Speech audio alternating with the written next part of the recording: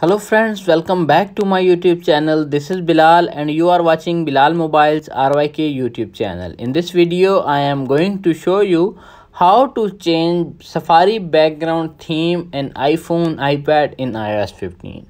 Without wasting any time, let's start the video and open the Safari browser app on your iPhone, iPad and iPod touch. Scroll up and tap on edit you can see appears on screen background images toggle turn it on. Tap on plus icon and select any background theme. Suppose i am selecting red theme. You can see select tap on cancel. Theme is automatically set. Tap on edit. Tap on cancel. Tap on plus icon again and select any background app.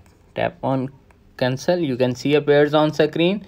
Safari background theme is changed. That's it. After watching this video i hope you will all know how to fix how to change how to set new image how to change safari browser theme in iphone ipad and ipod touch. If video is helpful for you please don't forget to share and subscribe my youtube channel. Thanks for watching